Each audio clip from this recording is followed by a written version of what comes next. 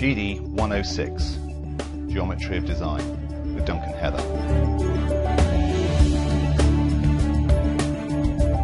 It's vital that students understand the principles of geometry, as most design originates from two basic shapes, the circle and the square. Both shapes have a number of unique characteristics that influence their role in design.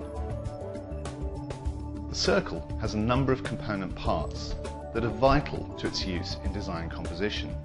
The component parts of a circle represent the centre, the circumference, the radii, the extended radii, the diameter, and most dangerous of all, the tangent.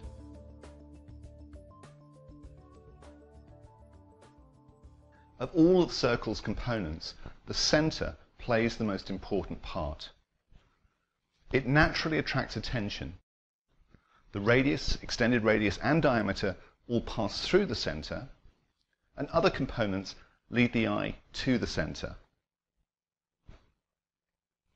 This means that any lines running through the circle will create a visually harmonious relationship with the circle itself. An infinite number of design compositions can be generated by exploring the basic components of a specific form. By combining the component parts of a circle with each other, many different compositions can be achieved. While the radius, diameter, and extended radius all pass through the center, if we link a circle with another circle, the general rule is that the circumference of one should pass through the center of the other. Here on the screen, we can see that a square has been linked to a circle, and this has been done by creating the corner of the square and linking that with the center of the circle. In design terms, we talk about this being a strong bond. This can be best explained by imagining cutting out shapes out of card and trying to stick them together. It's very important that we have enough overlap between individual shapes to create a large gluing surface in order to create what we term a strong bond. Here, by using the circle's center, we're able to create a, a visually harmonious relationship back to the square. If we didn't use the circle center, the square would look like it's just attached randomly into the circle and there would be no sense of geometry. Unlike the circle, the square is not found naturally in nature. A square has four defined directions of orientation, and unlike the circle, it therefore doesn't face out in all directions. Despite these differences, they have one important characteristic in common. Each can fit into the form of the other. We've already seen in our design exercise 1 that using the square and running diagonal lines from corner to corner identifies the square's center. And then by using your compass on that intersection, we can draw a circle that just touches the top, bottom, and the two sides of the square.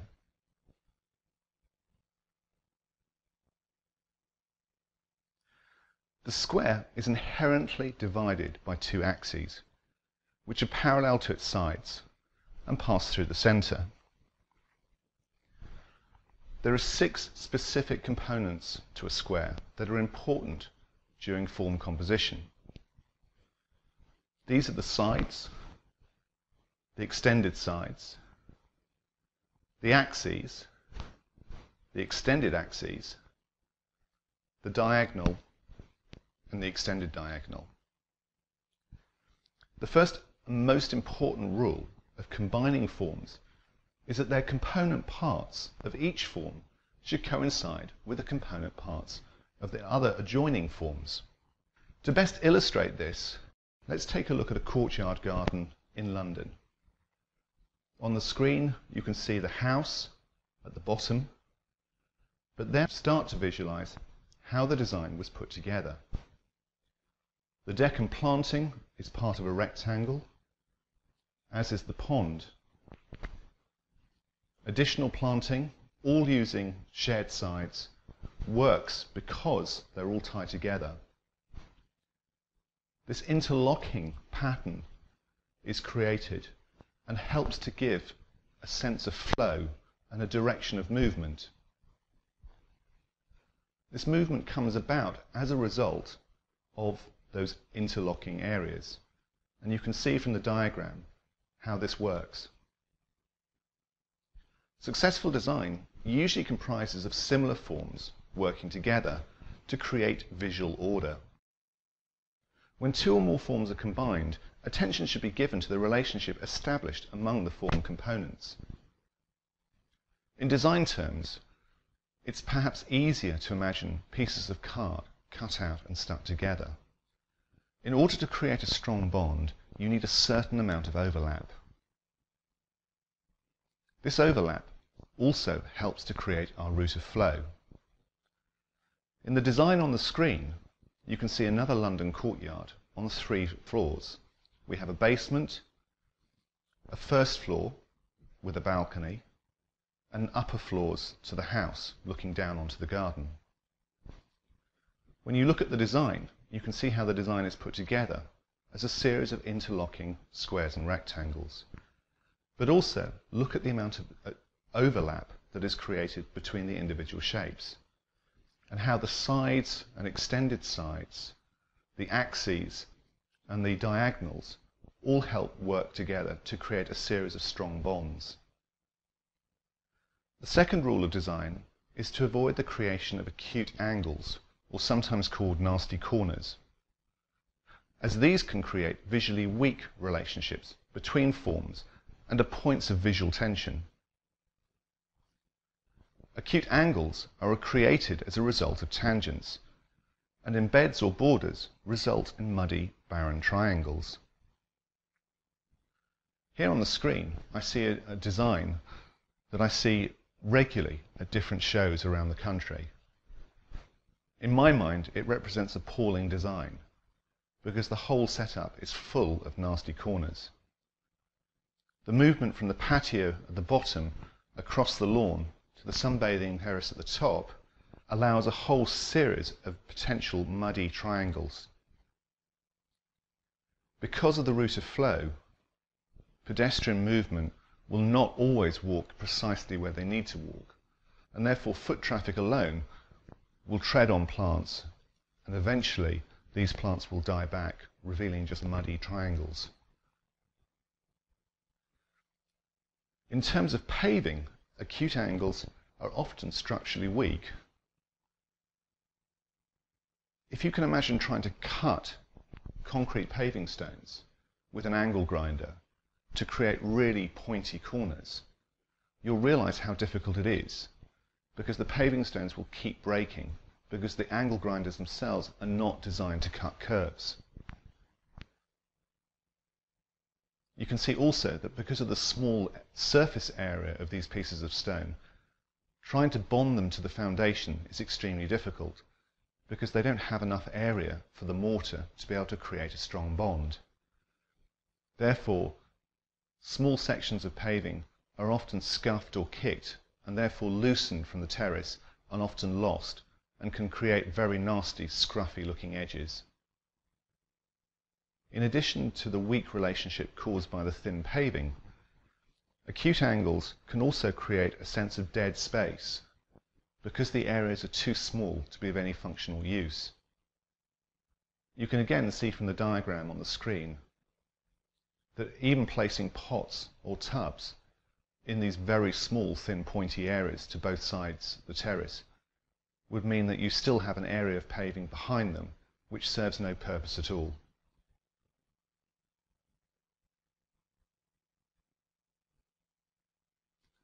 The third guideline is to establish form identity.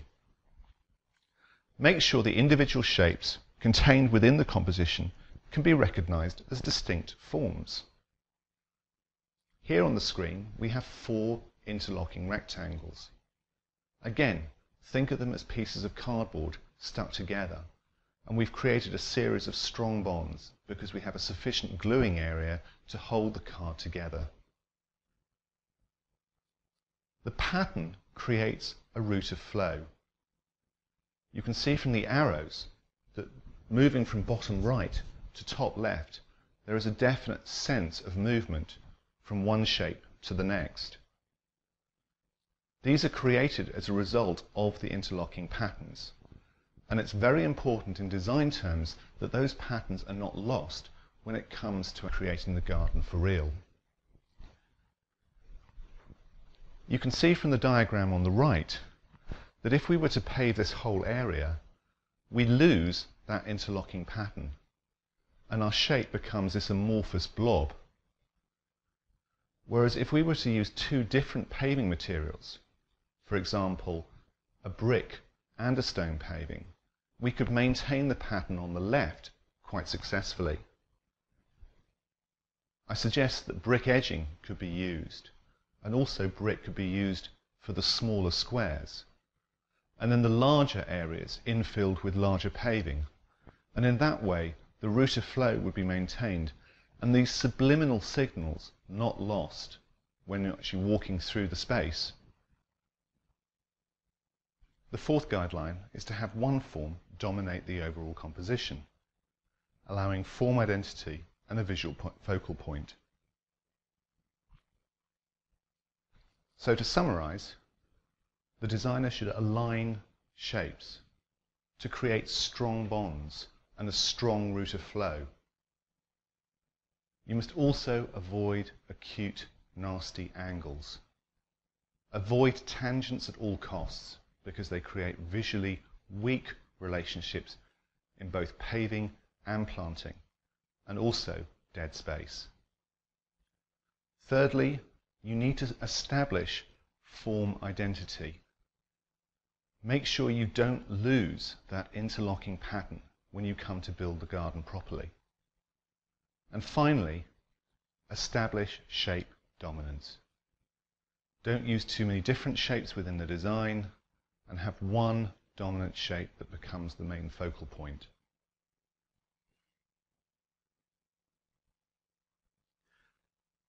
When joining circles together, it's recommended that the circumferences of one pass through the center of the other, thus creating a strong bond.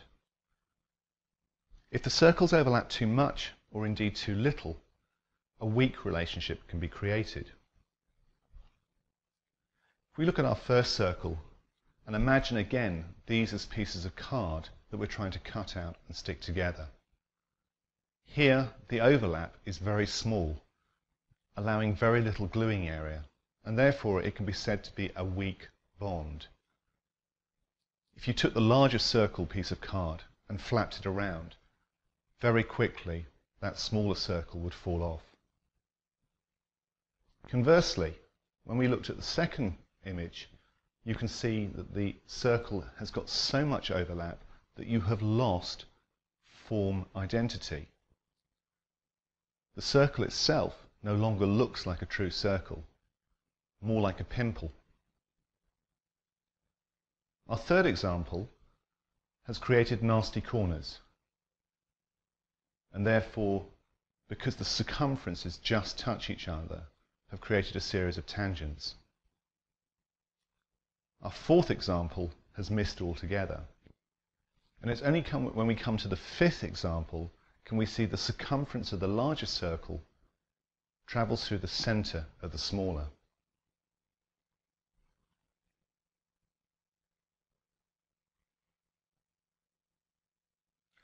Overlapping circular themes have several qualities. The design is both segmented, though still with related parts. This allows the designer to create spaces with distinct functional purposes. The design also lends itself to many directions or feelings of orientation. Overlapping circles will create soft patterns, especially when a variety of circle sizes are used. The composition should have a dominant focal circle, which represents an important area of the garden, such as a lawn or dominant terrace area. And it's also important to remember with any rules, once you understand them, those rules can be broken. In the example on the screen, if we see the first two circles, again imagine these as pieces of card cut out. And we have to ask ourselves, is the overlap sufficient to create a reasonably strong bond? Because they're quite small, I'm going to suggest that this does have enough overlap, despite the fact that the circle circumference doesn't run through the center of the other. If we look at the third circle, you can see that the overlap has increased because the area of the circle and the scale of the circle has also increased. It still doesn't fulfill the rule, but I still believe that if we imagine these as pieces of card cut out, the area of overlap creates a strong enough bond to hold them together. Our fourth circle, which is our largest, again has a much larger overlap than the previous two but it still doesn't quite tie in with our design rule of the circumference and the center. But again, in my mind, I'm breaking the rules, but I still believe that we're creating a sense of flow and a strong bond. The fifth circle is a bit of an anomaly. It's called juxtapositioned. It's when you place a smaller circle inside a much larger circle. It doesn't fulfill any of the design rules, but it still seems to work. I use this combination in many of my designs, particularly with using rough grass and cut grass, with the smaller circle being the rough grass and the inner larger circle area being the cut lawn. The smaller circle helps to create a sense of route of flow through the lawn and it allows me to plant trees and bulbs in the grass without having to cut the, the bulbs down in the spring or indeed damage the tree with a lawnmower. The final circle does fulfill our design rule. The circumference of the larger circle goes through the center of the smaller circle and thus demonstrates that we in fact do understand the rule even though we haven't actually followed it to the letter. In our next slide, you can see a series of interlocking and overlapping circles. But also, for the first time, we've introduced concentric circles. Concentric circles are those that actually share the same center point. So here on the screen, we have two circles sharing the same compass point. Our third circle complies with the rule because the circumference of the larger circle travels through the center of the smaller circle. Our next circle has a, a, very small overlap and it's barely enough to tie those two shapes together. So in this situation we've introduced a third interlocking circle that increases the gluing space and therefore the strength of the bond between the two smaller circles. With the large, dominant, thick circle, again, the gluing area is not sufficient to create a strong bond. And in this situation, we've introduced an inner circle to help create additional gluing area and tied that back into the smaller outer circle. Finally, we've introduced a rectangle, or at least a part of a rectangle. This has the effect of tying the top shapes back down to the lower shapes. It's almost an additional linking feature. If we look and extend the rectangle, we can see that the line passes into and through the center of the larger, thicker, dominant circle at the top. And likewise, halfway down, if we extend the line, we can see that that ties through into the center of our smaller circle and also against the circumference of our larger first circle. You can see that without these shapes, the design still looks interesting, but I think something is added to the composition by introducing this rectangle in addition to the circles to make the whole composition visually more interesting. Another thing that it's important to point out is the way that you orientate your pattern. The human eye reads patterns in very different ways. And if you look at the screen, this combination of shapes is exactly the same as the slide before. But you can see that we have a, a different feel and a different relationship to each one of those three shapes on the monitor. Which one do you prefer? Do you have a preference? The chances are your preference will be the very first combination of shapes you saw, which will be the previous slide. Moving on, we can talk more about concentric circles, because these create very strong compositions due to the focal attention at the centre, where the radii and extended radii originate. Compositional variety is achieved by varying the lengths and the amounts of rotation of the radii. And I personally believe this style is best suited for inward-looking urban designs that require a strong focal point. I also believe that this pattern looks quite dated now, maybe from the 1980s, and should not really be used in any garden environment. If you're going to use this shape combination at all, I think it's more appropriate for an office or retail environment in a commercial capacity. Next, we'll look at the rectangular theme, which is used in both formal and informal design.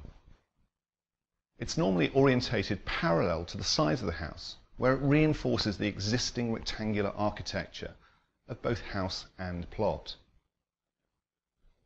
When using rectangles, you should consider the variety and size the scale, and the amount of overlap. Interpreting a pattern that you create as a piece of art and turning it into a garden is limited only by your imagination. Fundamentally, designers only have four materials to play with.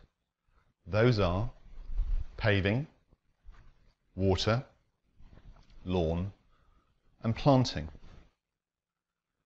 When we look at our patterns, we can allocate one of those four materials to the areas, thus turning our pattern into a garden.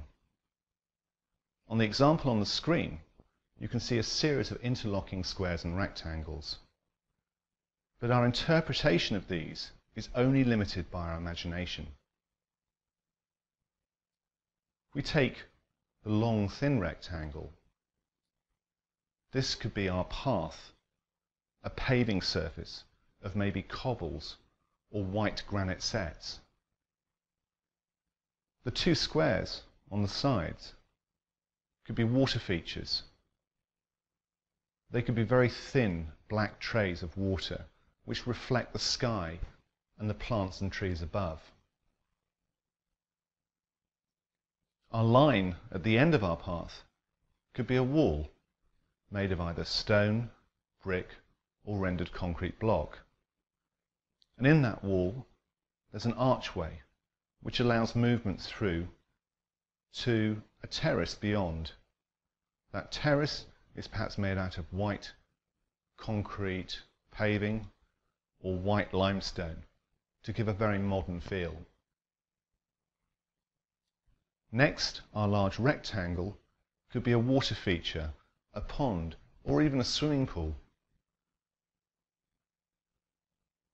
And finally, the last line could become a glass block wall, maybe six foot high, encompassing our white terrace area and overlapping our swimming pool. On top of that glass block wall, we could have a rill or a water feature which ran along the top and then trickle down the sides into the swimming pool, providing a visual interest. We could take that exact same design and interpret it in a completely different way, just by changing the materials. Instead of a modern white concrete path, we could go with a herringbone brick paved path. Instead of our black reflective water trays, we could have two cubes of box or yew. The wall at the end of our path could become an eight foot yew hedge, again with an archway, allowing access through and onto a York stone traditional terrace patio. Our swimming pool could become a formal lawn area. And finally, our glass block wall could become a low box hedge allowing a visual view across the lawn to the planting on the other side. We've used exactly the same ground pattern, but have designed it in a totally different way, just by changing the materials that we're using. And later on, you can see that you can radically change your plans, not by changing the design, but by simply choosing the different materials.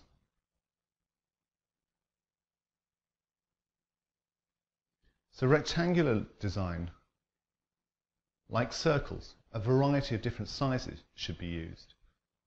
And there should be a dominant larger space depicting the more important areas of the design. Scale is important, as too many short lines will make the design look fussy.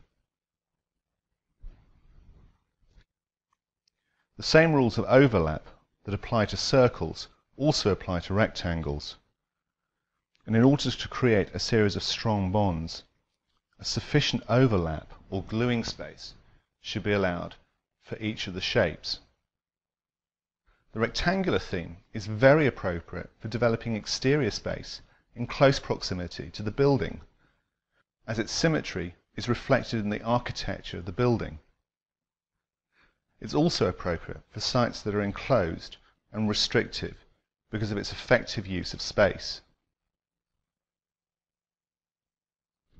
Using circles in built-up areas is dangerous simply because you're more likely to get involved with tangents.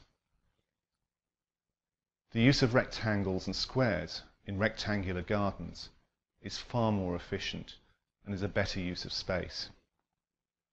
However, there is a danger that rectangular design can become monotonous, and the third dimension now plays a very important role in the creation of interesting functional space. Next, we talk about curvilinear design, which is sometimes referred to as organic, biological, or freeform. In fact, it is entirely man-made, and these terms can be quite misleading. The curvilinear theme uses portions of different circles and their circumferences to create its overall form.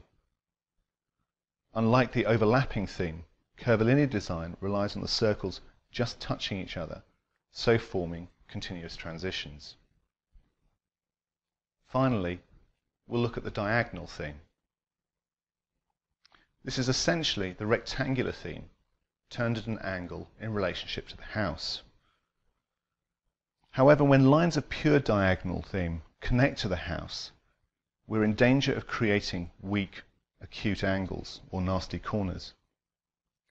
So therefore, modified diagonals may be more appropriate. These combine both the rectangular and the pure diagonal theme, which offer a more satisfactory relationship with the building.